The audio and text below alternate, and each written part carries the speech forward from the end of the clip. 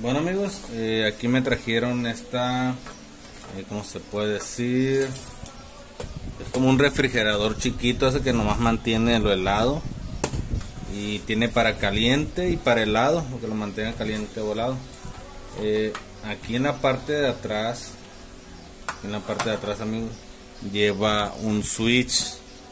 Este switch es para hot o cold, caliente, helado o, caliente, ¿sí? Bueno, entonces aquí, ¿qué es lo que pasó? Tronó este switch, ¿sí? Y ahorita no lo hallo. Eh, ¿Cómo lo podemos eh, eliminar? Sabiendo que tiene para opción de frío o helado, o sea, ¿cómo lo vamos a hacer? Bueno, primero que lo que hice, chequeé, chequé si la fuente servía.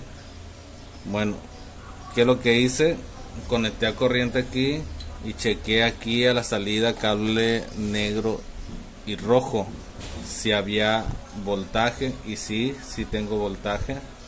Bueno, ya de aquí eh, que chequeé que hubiera voltaje, pues ya me fui sobre el switch. Ven cómo se ve como todo dañado el switch va aquí tiene hacia abajo o hacia arriba ¿sí?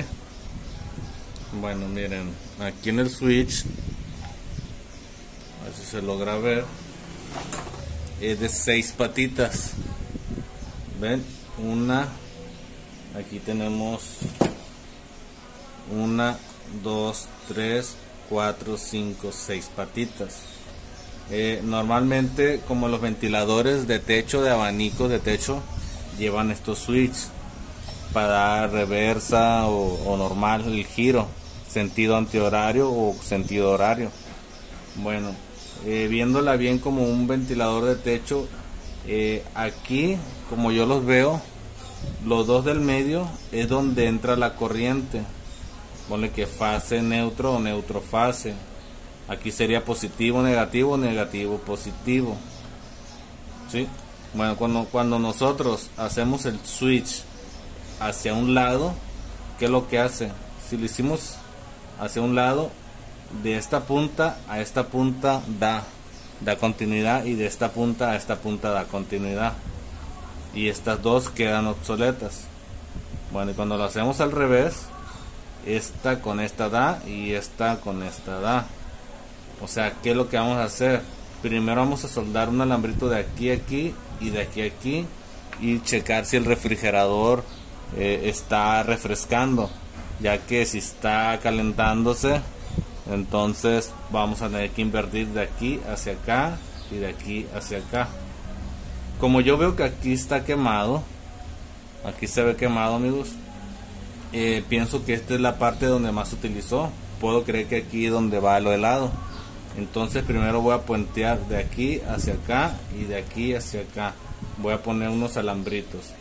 Pero como esta línea se reventó va por aquí a este pin voy a poner un puente de aquí a aquí y de aquí a aquí ¿sí? en vez de aquí a aquí porque ya está reventada la línea lo voy a hacer de aquí a aquí y de aquí a aquí.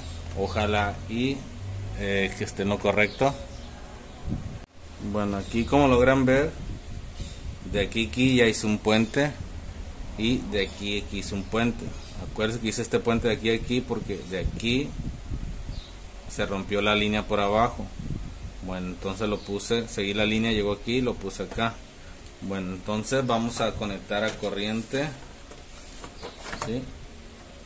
vamos a conectar. Bueno ahí tenemos el ventilador se mira todo bien. Bueno ya hay que procurar que no peguen nada a los lados. Entonces pues vamos a conectar. Bueno aquí el ventilador como ven ya prendió. Eh, sería cuestión de esperar tantito a ver si la fuente de aquí adentro eh, va a helar o va a calentar. ¿sí? vamos a esperar un tiempo. De hecho aquí está el peltier. Miren si yo toco esto y está caliente, entonces atrás, eh, bueno, estaría funcionando bien porque el peltier atrás calienta y la otra parte enfría. Entonces eh, pues para mí pues ya quedó porque si está caliente esta pieza. Y este abanico lo tiene que estar enfriando o sea que eh, pues ya debe de haber quedado. Bueno lo voy a desconectar nomás para cerciorar aquí adentro nomás a ver cómo se siente.